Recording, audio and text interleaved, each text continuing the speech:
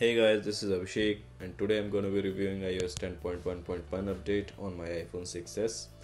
Let me show you that I'm indeed running 10.1.1 here. Here we go. So I got this update like two weeks ago. It's been two weeks now, and it is as bug-free update as Apple says it is.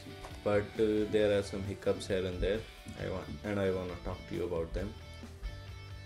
So the first problem I got with this update was literally the update itself.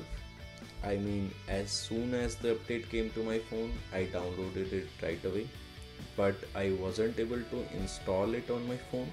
So in order to install it, I have to restart my phone like 7 to 8 times. So there is that, and it is not just on my iPhone 6s. Uh, my friend has iPhone 6 and he faces the same problem as I did with this update. Now coming on to the next minor hiccup I found in the App Store. So it is not all the time, but uh, sometimes when I try to update like several apps at one time, I can't.